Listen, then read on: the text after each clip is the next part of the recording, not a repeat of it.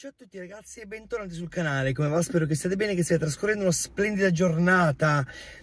Mi, rinnovo le scuse per questa mia location esterna, però ripeto ragazzi, come sapete in quest'ultimo periodo sono più fuori che dentro casa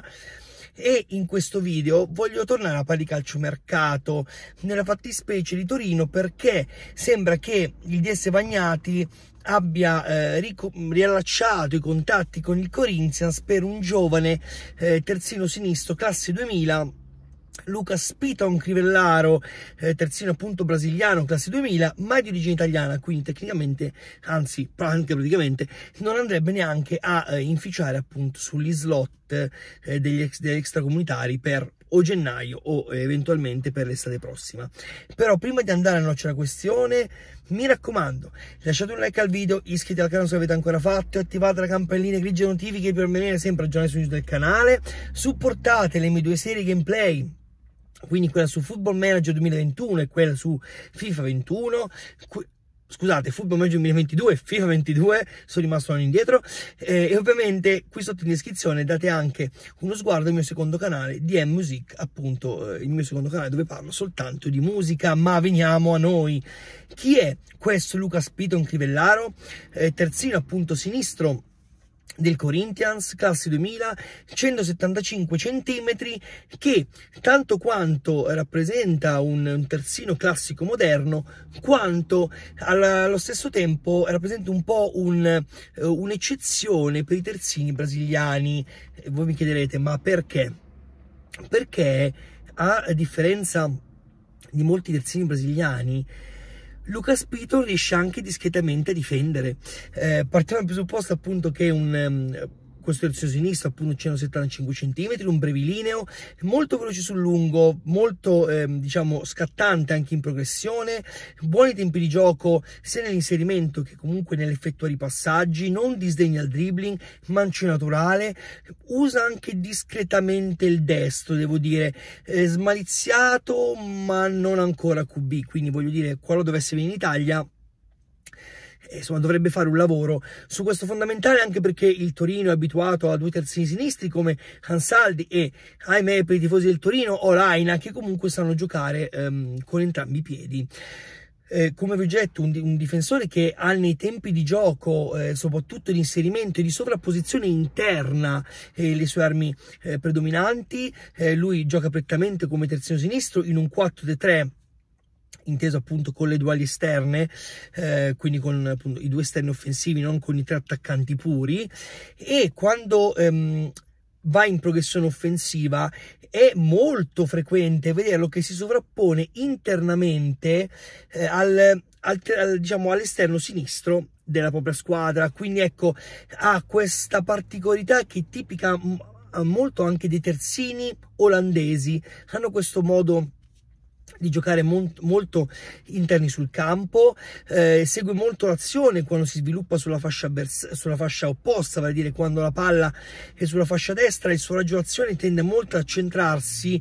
e a cercare lo spazio libero. Ha un buon sinistro, un buon fondamentale, un ottimo controllo con l'esterno sinistro e appunto non disdegna neanche il dribbling. Sicuramente un profilo molto interessante anche perché, ripeto, è un 2000, eh, quindi 20, 22 anni, eh, nel, diciamo nel 2022, è di origine italiana, quindi non occupa neanche uno slot extracomunitario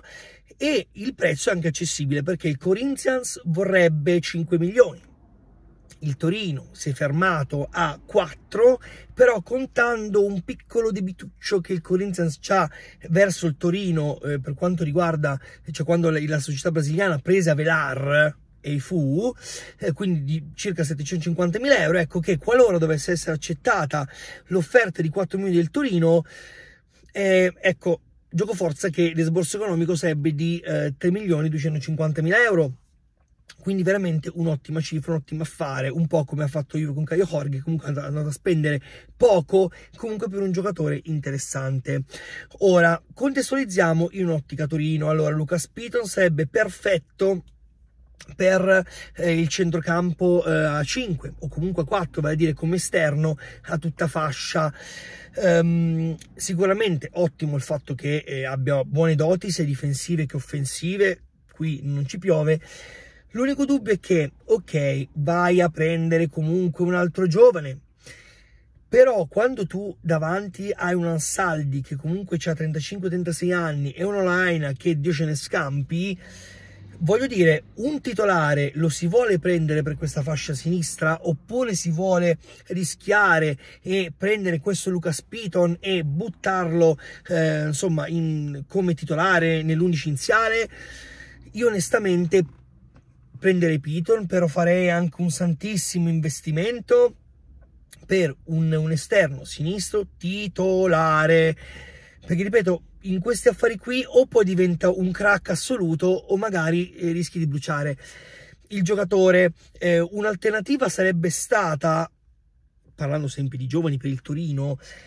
Qualche mese fa Parisi, il 2000 dell'Empoli, il problema è che, mh, infatti anche di Parisi molti mi hanno parlato sotto i commenti, il problema è che su Parisi ci sono già le big italiane, quindi se magari inizio stagione potevi cavartela con 5-6 milioni di euro, adesso magari il prezzo andrà molto a crescere perché ho fatto il video stamattina dove ho parlato anche di un interessamento dell'Inter, dove c'è anche il Milan, dove c'è anche la Juventus e quindi ehm, il tutto sarebbe un pochino difficile da concretizzare, mm, si, si, mm, si, parlava anche di Gatti, l'esterno sinistro del Frosinone, che sta facendo molto bene in B, però adesso è monitorato la Juventus che vorrebbe inserirlo tra la prima squadra e l'Under 23, insomma il Torino tecnicamente all'inizio, qualche mese fa, aveva delle alternative anche nostrane. Gioco forza che se tu metti un giocatore comunque brasiliano sempre dal passaporto giovane passaporto italiano intendo,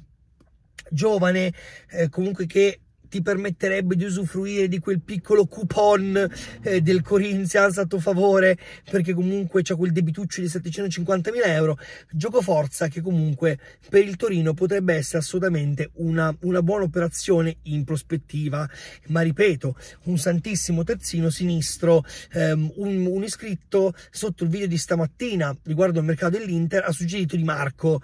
benissimo, verissimo. Di Marco sarebbe il titolarissimo del, del Torino.